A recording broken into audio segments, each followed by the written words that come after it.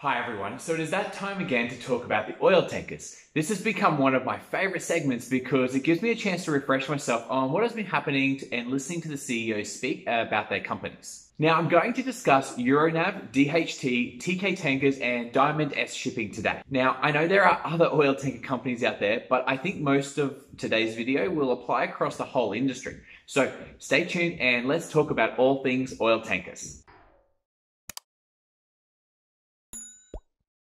Now, if you're new to my channel, well, welcome. My videos are about investments that anyone in the world can make. I'm trying to help as many people as possible understand what they are actually investing in. Most people spend more time researching their next computer than they do their next investment. Now, I have built a reasonable size investment portfolio myself that I'm aiming to continue to grow at about 20% per year. Now, I base a lot of my knowledge on the great investors Peter Lynch, Warren Buffett, Charlie Munger, Mohnish Pabrai, and a handful of others. Now, I'm not perfect at this. Not every investment that I make is going to be a home run, but we definitely will find some great investments and push for that 20% goal. Now, if you are one of these new people, I have a two-part oil tanker series where I explain the investing thesis in detail. So please take a look at that for a better understanding on why the oil tankers, in my opinion, are a good investment. Okay, let's start with the short-term stuff. Now, the tanker spot rates in Q3 were really low after a crazy first two quarters of the year. Q3 is seasonally the weakest period, and also the world hasn't got back to normal oil consumption yet, of course. These lower rates are not good for the tanker companies, but we did expect this. Here is me explaining this in the last update for the oil tankers back in Q2. So, the cycle for the strong tanker shipping rate is expected to start sometime in 2021 or 2022, whenever the demand comes back to normal. But until demand gets back to these levels, well, it is expected that the rates are going to be significantly lower. So, winter in the Northern Hemisphere is pretty much it. This starts a generally high consumption period of oil as heating is required for a lot of the world's population. Now, early indications are seeing rates starting to pick up, but these high rates are going to be booked in Q4. Now, also, vaccine news has started to be announced, which is giving companies at least some visibility into the future. Look, I don't know how long this is going to take, so I'm not even going to guess, but the companies can start planning. So the expectation is that in 12 months' time, oil demand should be nearly back to normal. This is when the oil tanker companies will be booking very strong rates. Now let's talk about the medium term time frame. I think this slide from TNK Q3 presentation sums up the medium term nicely.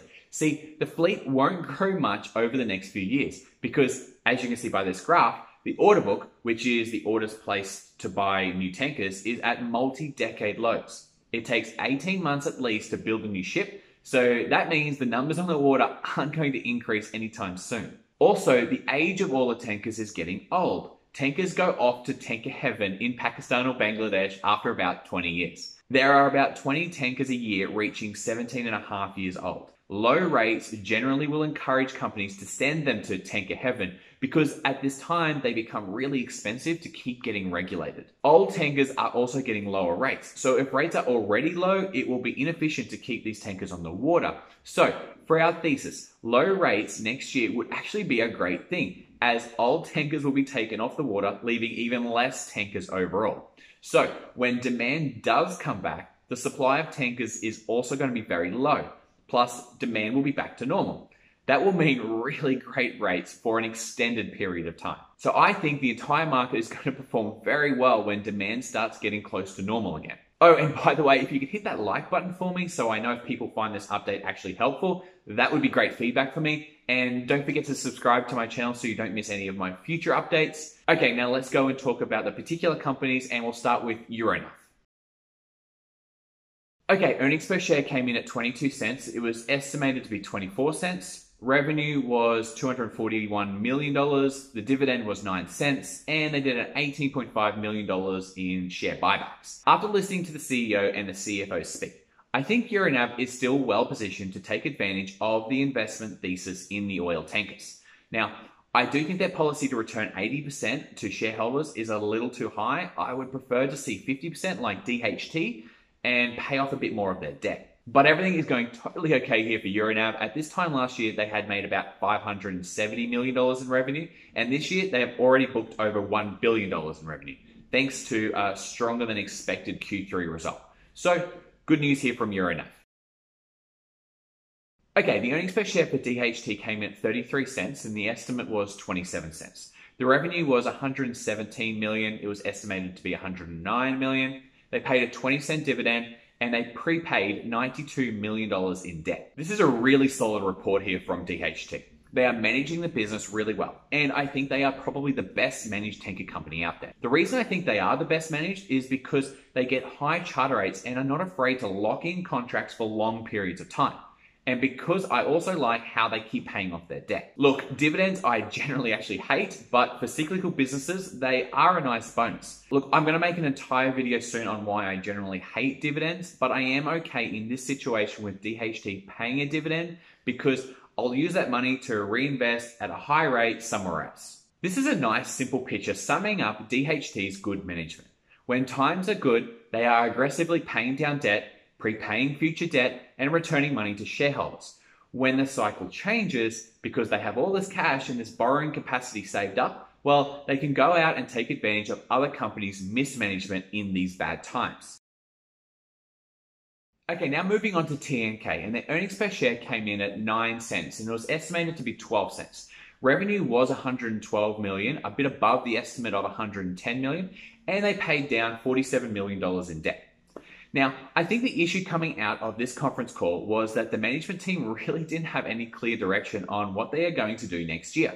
They said they will wait to make any decision on 2021 and beyond at a board meeting in December. Now, personally, I don't really see this as a big problem here. I know the stock sold off on that day dramatically, but things have been changing pretty quickly this year. A wait and see approach seems totally understandable. I like that they just wanted to pay down debt. I think that is responsible and all that I really needed to see. That actually is one of the best things I think a company can do anyway when they don't have big expansion plans. As a shareholder, I am actually really happy with this move.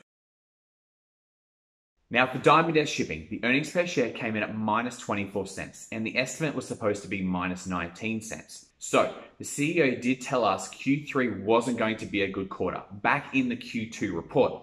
And he was of course right. They made a loss this quarter where everyone else was making a profit. Diamond S have far more exposure to the spot rates than the other companies who try to book long-term fixed rates more frequently. Look, this is bad news compared to the other better managed companies. Their financial position is still solid, and I don't see any reason they won't be totally fine. At the current share price of $6.30, they have a price to tangible book value of about 0.2. That's crazy low. So they are on the cheaper end of the market, therefore, I'm still holding them for at least a return to their fair price. Okay, so the stock prices of all of these companies have tested nearly every one of us this quarter. But if you're like me, you actually loved it. See, I bought some TNK shares at $10.50 and I have actually an order to buy a big parcel of DHT if it ever gets to $4 as well. So I have actually nothing to fear. The companies, if they get into trouble, can sell some of their assets but they all don't need to because they have good balance sheets. Yes, of course, maybe the world takes longer to recover than expected, but I don't think that is a problem. I think we will get there eventually. Plus, considering the aging fleet, supply of tankers is going to come off the market without new orders being placed. So there is no sign of any company aggressively ordering new ships, so the thesis is really strong still. Now I know the oil tanker stock prices are a wild ride, but whenever the world oil consumption starts to get close to that 100 million barrel a day number, well, that will be too late to invest in these companies. But if you cannot handle seeing your investment temporarily falling, say 30% or 50%, well, this is definitely not for you. Honestly, nothing really has changed. The thesis is still there and the market is doing pretty much what was expected. And as a risk proposition goes, I think with all of these companies, they have serious discounts to fair value I don't see much downside and I see strong upside potential. I hear Peter Lynch and Warren Buffett's words ringing in my ears. Be fearful when others are greedy and be greedy when others are fearful. Look, thanks for staying to the end of the video. Let me know what you think of the oil tankers. I'm interested to hear your opinions. Hit subscribe so you don't miss any of my future updates and I will see you next time.